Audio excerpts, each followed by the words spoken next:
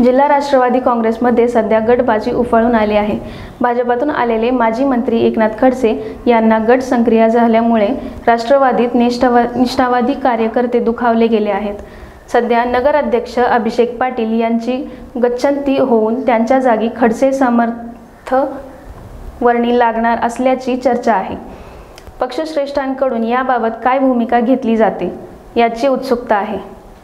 परीक्षांतर्गत कुरघोडीच्या राजकारणाला कंटाळून ज्येष्ठ नेते एकनाथ खडसे यांनी ऑक्टोबर दोन हजार वीसमध्ये भाजपाला रामराम ठोकून राष्ट्रवादी काँग्रेसमध्ये प्रवेश केला. त्यानंतर विधान परिषदेवर संधी देण्यासाठी राष्ट्रवादीने भाजपाला नियुक्त सदस्यांच्या यादीत खडसेंच्या नावाचा समावेश केला. परंतु राज्यपालांनी अद्यापही त्याबाबतचा निर्णय घेतलेला नाही. म्हणून खडसेंच्या राजकीय पुनर्वसनाचा कायम आहे. एकीकडे ही स्थिती असताना खडसेंसोबत राष्ट्रवादीतील दाखल झालेले कार्यकर्त्यांनाही आपल्या पुनर्वसनाची प्रतीक्षा आहे. सध्या राष्ट्रवादीच्या स्वकीयांमध्ये बेदिली असल्याने त्यांचा फायदा करून घेण्याचा खडसे गटाकडून लॉबिंग सुरू आहे. विद्यमान महानगराध्यक्ष अभिषेक पाटील यांच्याविषयी पक्ष पक्षातील ज्येष्ठ मंडळींच्या तक्रारी वाढल्या आहेत. प्रदेशाध्यक्ष जयंत पाटीलांपर्यंत या तक्रारी गेल्या आहेत. अशातच त्यांची विकेट पडण्याची शक्यता असल्याने त्यांच्या जागी आपल्या समर्थकाची वर्णी लावण्यासाठी खुद्द खडसे प्रयत्नशील असल्याचे बोलले जात आहे. भाईसाहेब मुक्ताईनगरमध्ये काही निष्ठावंत कार्यकर्ते फुटून ते शिवसेनेत गेले आहेत. तुम्ही कसं बघताय विषयाकडे? निष्ठावंत ते म्हणजे आदरणीय नाथाभाऊ खडसे यांच्या प्रयत्नाने भाजपमध्ये निवडून आलेले होते.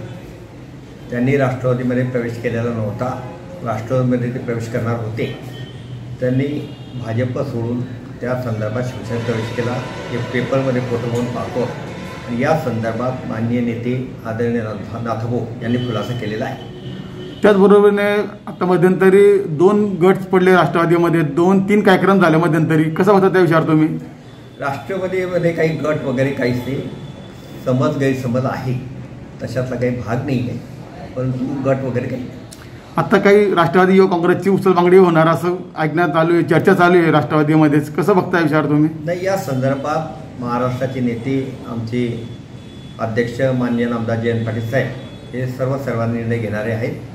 ते निर्णय घेतील तो आम्हाला मान्य करावा लागतो. एकंदरीत खडसेंचं जवळचा माणूस अध्यक्ष म्हणून निवडता असं म्हटलं जात आहे कारण राष्ट्रवादी असं होत नाही ते.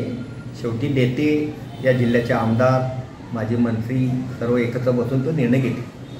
त्यांनी असं आवाहन केलेलं आहे तुमच्या युवक अध्यक्षांनी की आमच्याकडे बरेच त्यांचे पुरावे आहे यांनी फक्त बदलावा असं त्यांनी आम्हाला धमक दिली. कसं बघता याच्यावर तुम्हाला? नाही हे चुकीचं आहे. पक्ष संघटनेत काम करत असताना अशी धमकी वगैरे द्यायला कोणी भीक घालत नाही.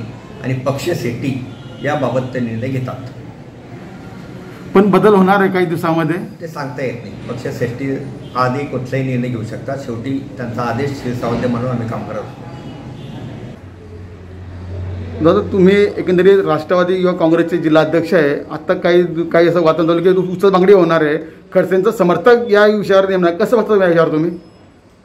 काल परवापासून काही सोशल मीडियाच्या किंवा यूट्यूब चॅनल्सवर अशी एक प्रश्नचिन्ह टाकलेली बातमी येते की माझा माझ्याऐवजी मान्य नाथाभाऊंचे समर्थक कोणी दोन तीन लोकांचे नावं येत आहेत त्यांची नियुक्ती होणार आहे असं बातमी येत आहे.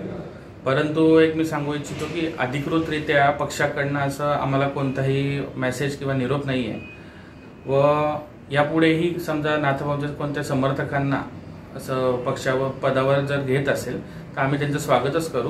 पक्षाने आम्हाला फक्त एक आमची पक्षाकडे एक विचारणा राहील की आमचं चुकलं कुठे? किंवा आम्ही पक्षाचं काम करण्यात कमी पडलो कुठं? याचं आम्हाला फक्त उत्तर अपेक्षित राहील. व आम्ही त्या निर्णयाचं स्वागतच करू. यामध्ये तुमच्या म्हणजे आईला पण असं काही महिन्यापूर्वी असं त्यांनी मागणी करून तुम्हाला त्या बाबतीने बघताय असं पक्ष असं कसं बघता विचार तुम्ही?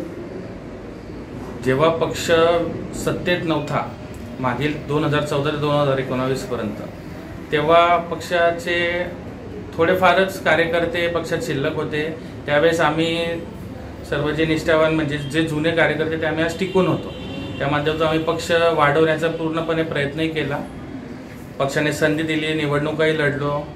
व त्यात आमचा पराजय झाला. आम्हाला माहिती होतं आमचा पराजय होणार आहे पण आम्ही पक्षाच्या आदेशाने ते लढलो सुद्धा परंतु पक्ष सत्तेत आल्यावर नक्कीच गर्दी कुठेही होत असते. आपण मागील पाच वर्षात जसं भाजपत घडलं ते आपण बघितलंच आहे. तसंच आज ह्या पक्षातही घडत आहे परंतु निष्ठावानांना कुठे ना कुठे न्याय मिळतोच याच्यावर आम्हाला आमच्या पक्ष श्रेष्ठींवर विश्वास आहे. खडसे समर्थकांना आता मध्ये धक्का दिलेला गेलेल्या मुक्तानगरला. तो कसं बघता तुम्ही विषय कसा बघता?